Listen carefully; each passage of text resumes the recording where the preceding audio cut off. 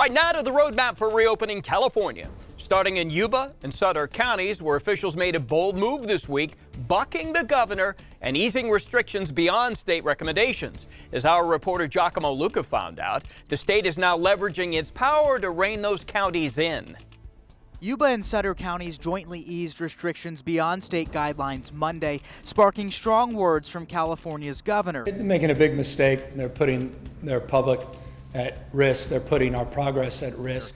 But county officials stand by that decision.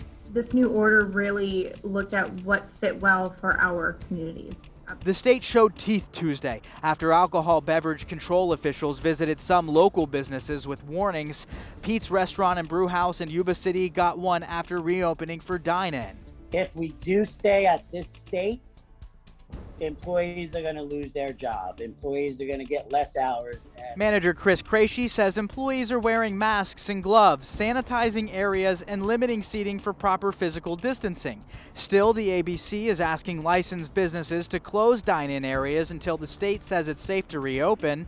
ABC officials say they're asking for voluntary compliance, but say they can enforce it. Our reporter Giacomo Luca on the story. It's not clear what that law enforcement will look like, but the Alcohol Beverage Control Department does oversee and issue state liquor licenses. So businesses are worried they could lose their liquor license if they defy the governor.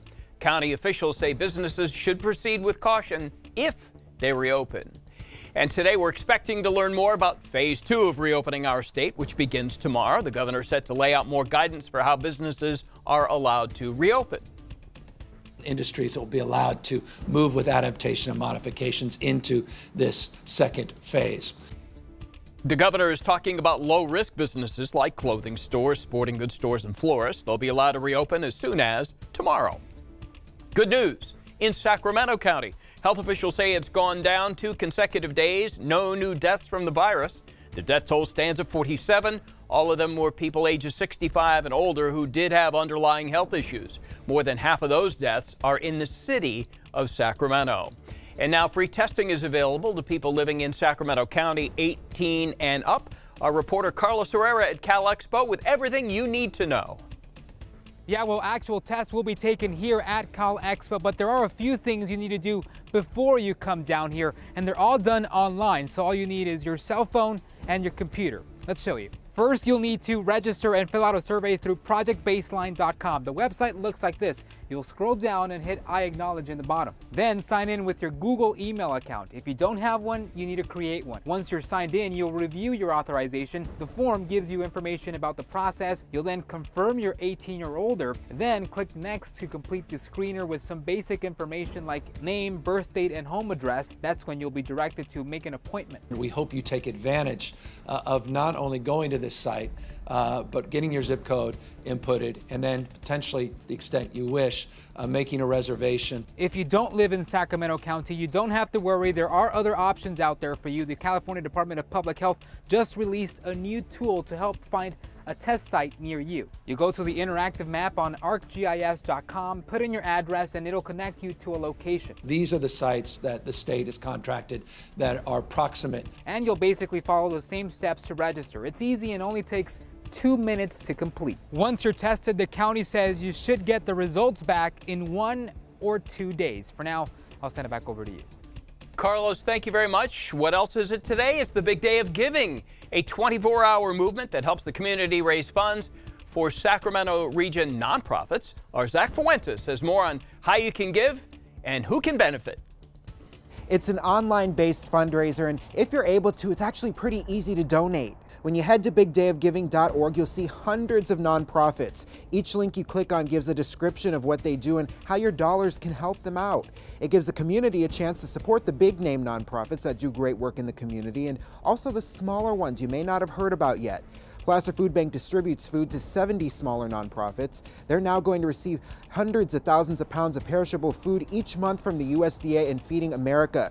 They just need to get refrigeration for it. Big Day of Giving is a wonderful opportunity for the community to know about our urgent need for refrigeration.